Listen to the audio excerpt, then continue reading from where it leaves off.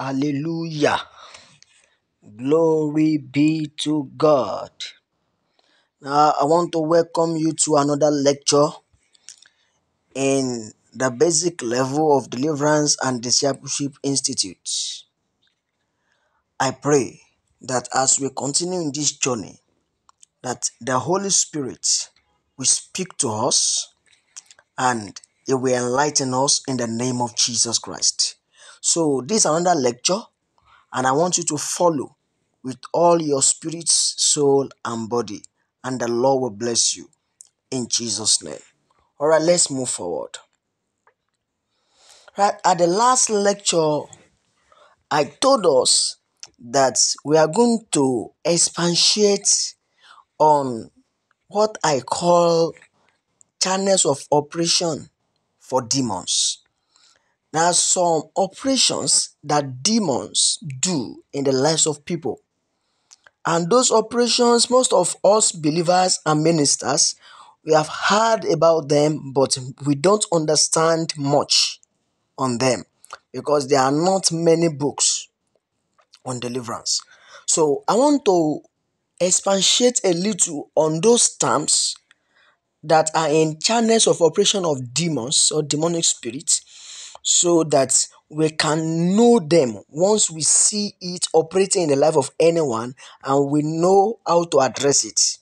Now, number one is demonic possession.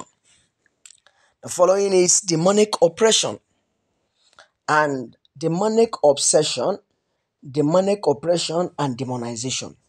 Now, you can see that all these things they are five.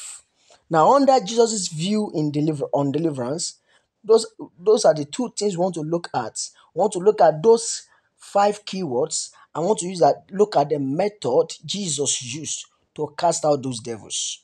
Now, I will explain all these five, and after that, we will go to the method Jesus used when he was around during his earthly ministry. The method he used to attack these conditions and how it got results in his times. All right, deliverance and Christians. As I said earlier, there are two channels of demons, operations, and afflictions in mankind. I've told us before, but on this on this lecture, I want to expatiate on it. There are two channels of demons, operation, and affliction in mankind. Number one is what I call the inward operation. Now, this inward operation of the devil has two channels. Now, what I mean by inward operation is that before these operations work, the demons must be inside of human being must be inside of the human being before this kind of attack this kind of uh, affliction operates in mankind. Now number one is demonic possession and number two is demonization. Now there's another one called outward operation now this operation of the devil has three channels. Now outward operation means that those demons and they may not necessarily be in your life or in your body before they operate. So they can be outside they can be they can be near you they can be some they can be inside of somebody they can be in your clothes they can be in your plate they can be at your corridor they can be anywhere and they'll be doing their operation. So those operations are demonic operation demonic obsession and demonic depressions. Now these three demons can be anywhere and be doing these three to you. But the other, the first two I first mentioned, demonic possession and demonization, demons must be inside of you before they carried it out. Now, explanation of the demons channels of operations. Now, demonic oppression. Let me first explain that to you. Now, this happen outward when demons exact evil forces and powers on someone for evil occurrences and reactions. Now, what do I mean by this? that demon, the demonic spirit that is afflicting the person or that may be afflicting you, may be outside, and that demon will be exacting evil forces and powers on you for evil occurrences. Now, those demons may not necessarily be in you, but they will be outside and they'll be carrying out their operations. Now, example someone that is being pressed down at night now those spirits may be coming and going they may be going I mean, they, they may be coming in at night, and after their operation, they will leave the room. So they just come into the room, exert their forces on the person, and they go.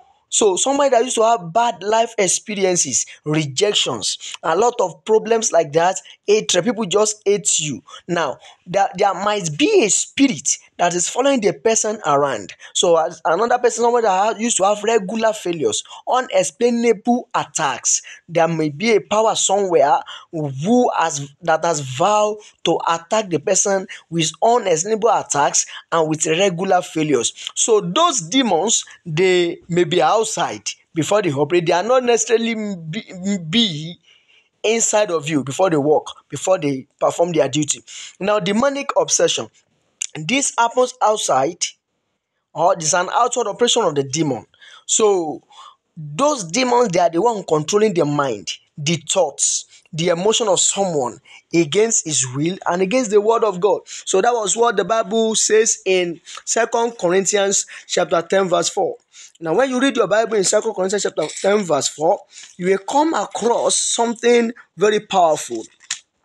Something very, the Bible says, For the weapons of our warfare are not carnal, but they are mighty through God to the pulling down of stronghold, casting down imaginations and every high thing that exalts itself against the knowledge of God, and bringing into captivity every thought to the obedience of Christ. Now, those demons, they are the one that attacks through your mind they control your mind control your thought control your emotion against the will of god and against the word of god. So the, those demons they may not necessarily be in you. They may be outside and they will be and they will be commanding results. Let's move forward. Now demonic depression.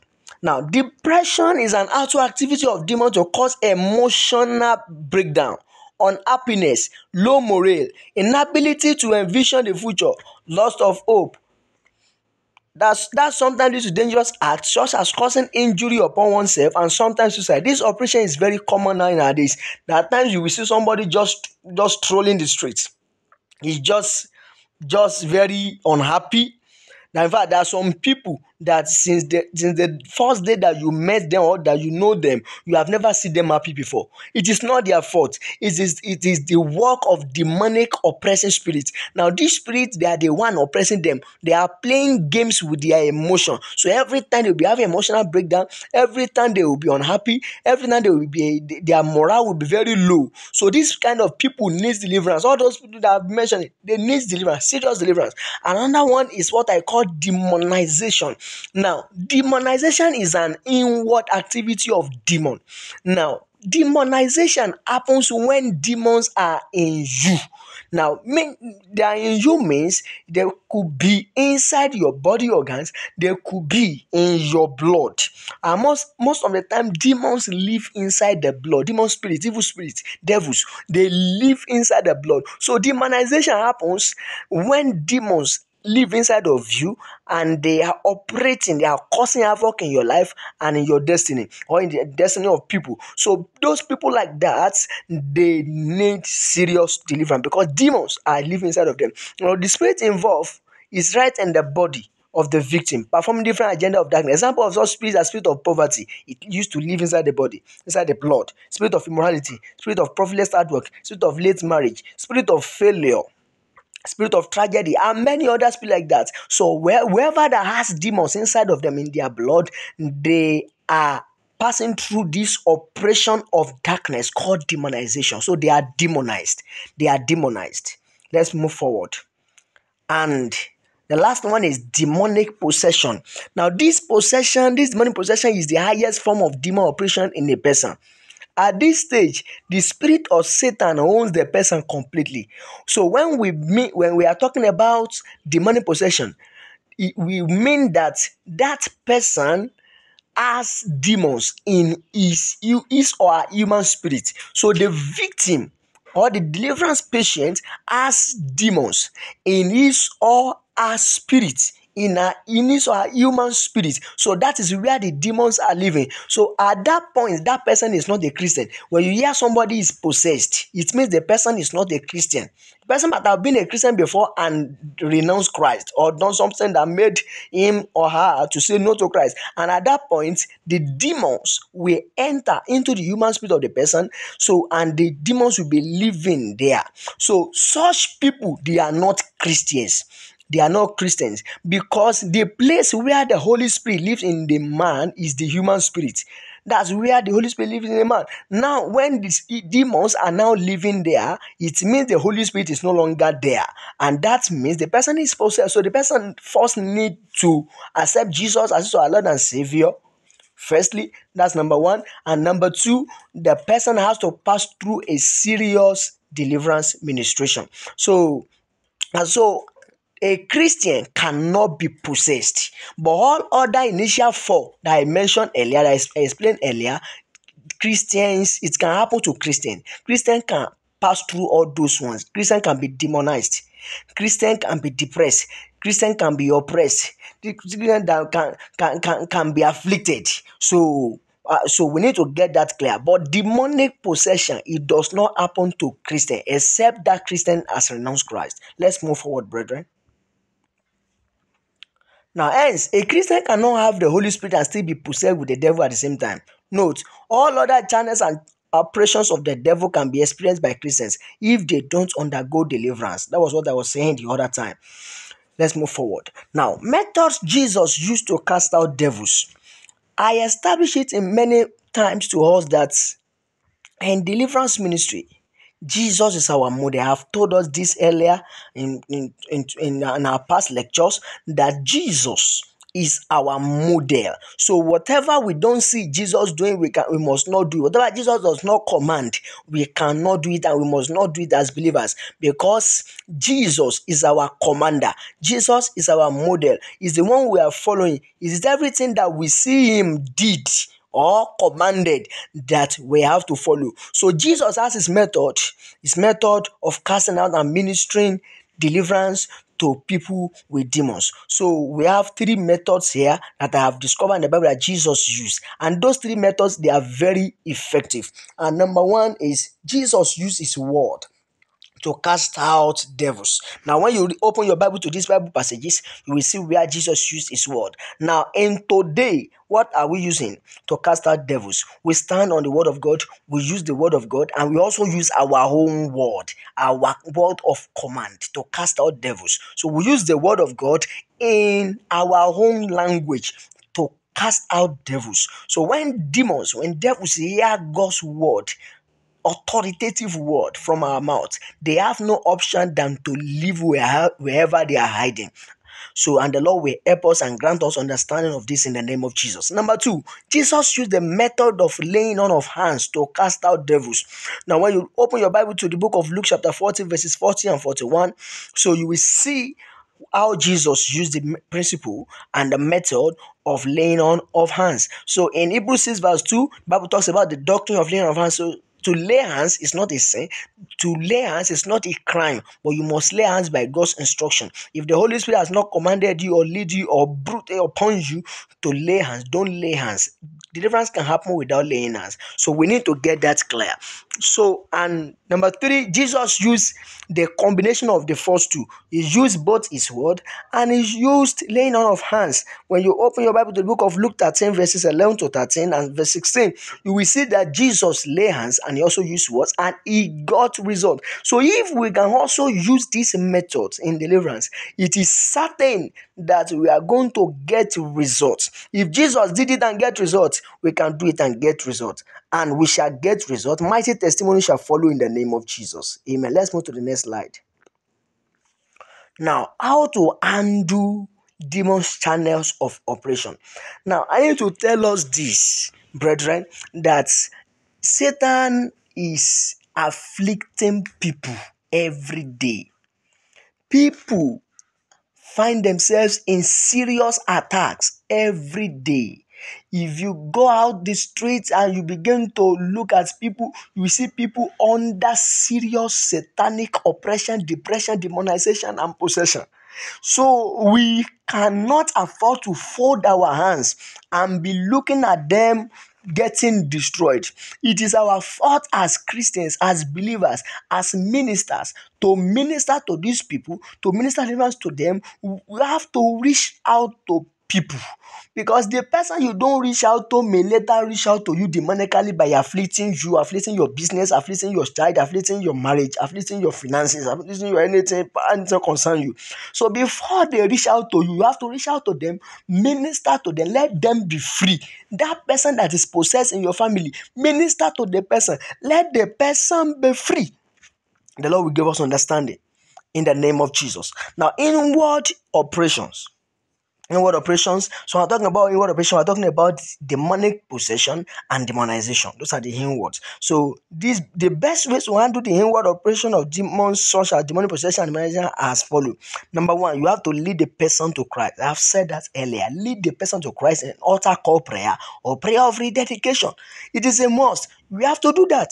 Number two, lead the victim to break every associated covenant and curses connecting him or her to those demons the demons inside of him or her whether the, the ones inside the human spirit or the one inside the blood the one in the body organs covenants related and causes related must be broken through prayer warfare, through deliverance prayer points, as I've told us earlier, I've taught us how to formulate deliverance prayer points. So you, know, you may need to visit that video, that lecture again, so that you can, uh, so that you can uh, be reminded.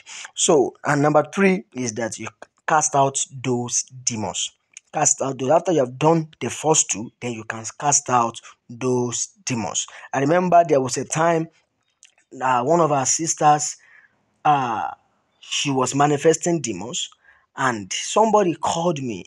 I didn't I didn't know that she was in that oppression. She, she, she, she, was in that condition that she, she was suffering from that problem. I didn't know they just someone just called me said prophet ah so so so so so so, sister is in this condition now. So i took my anointing oil and i went to her house. So i met some brethren there busy doing the deliverance. I said what happened? What happened? What happened?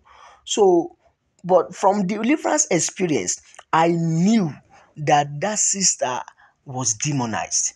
That sister was demonized. So, and this sister was a very strong spiritual sister. Is a choir, very gifted, very anointed, but demons are still inside her body. Until those demons were out, the sister didn't have peace. And we, we, we couldn't leave our house that day. We all of us had to sleep sleep over in our house. Please, let's minister to people. Let's show love in this dimension and the Lord will grant us understanding and grant us the function to function appropriately in the name of Jesus Christ. Let's move forward to the outward operation. Now, outward operation, the easiest way to handle outward operation of demons, such as demonic oppression, demonic possession, and depression, as follows. Number one, the victim must forgive everyone he or she is keeping in mind. Listen to me. Demonic oppression, obsession, depression are will be possible when somebody keeps people in mind. You have some people that you are not greeting and you are vowed never to greet again. Or it, it if if those people are the one behind your condition you are giving them a legal grant. You are giving them there's something called legal grant deliverance. Legal grant is an avenue that connects somebody to an attack through an attacker that's the definition of legal ground. So, so you have given them a legal ground to attack you. You must first forgive everyone. Forgive them and forget about it. Number two, you must confess every unrepented sin. Somebody that fornicated and he has, ne- has never confessed it. You committed adultery, you didn't you didn't confess it and you have not repented. See, those things are what devils will hold on to in your life to be oppressing you, to be obsessing you, to be depressing you. You have to confess them and repent. Number three, the victim must do fire sanitation of his or her environment against satanic presence. Now, it is possible that those the, the demons oppressing, depressing, and obsessing you are in your environment. Every day you must you must employ the principle of fire sanitization. You must sanitize your environment, sanitize your room, sanitize your office, sanitize your car, sanitize your your your clothes so that when you sanitize them like that, wherever demons are hiding, they can flee, and so that you can have a free and a clean zone to live and to be. So another one is that it may involve the victim change of residence. It is possible that that victim or the deliverance patient is living in a place where there's an evil altar. The person may need to change residence. And if the person is the one, the owner of the house, then he has to consult a deliverance minister that is experienced in doing that. And that altar will be uprooted from the place. Or else there may that it may involve the change of residence.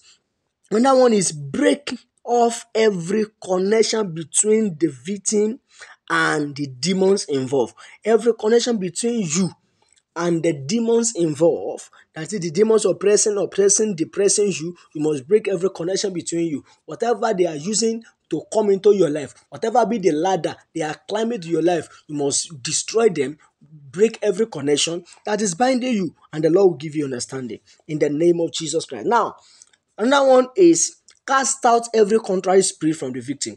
Now, contrary spirit, every spirit, the, the depressing spirit, the oppressing spirit, the depre- the obsessing spirit, those spirits must be casted out. So if you are the minister, cast out those spirits from the person. And if you are the one in this condition, you are the one in this condition, cast out those spirits from yourself. And as you cast them, they will obey your command in the name of Jesus. Now, the last one is disciple the victim to grow spiritually. When somebody grows spiritually, demons won't be able to dominate him or her. So after the deliverance, ensure that you disciple that victim to grow, to know the word of God, to have the light of God's word, and to be able to know his place in Christ. So when that is done, the person will have a free zone life, the, the life that is above demons, a life that is without demon, that's without attacks, and the Lord will give us understanding in the name of Jesus Christ. All right, let's call it a day here. So for seed and for inquiries, want to make inquiries, probably about deliverance, about the advanced course, whatever, uh, or you want to sow seed into the life of Prophet Ezekiel Olamilekan, you can use these bank account details provided on this slide. So you can use it. Please don't mind the Muslim, the Muslim name on the bank name.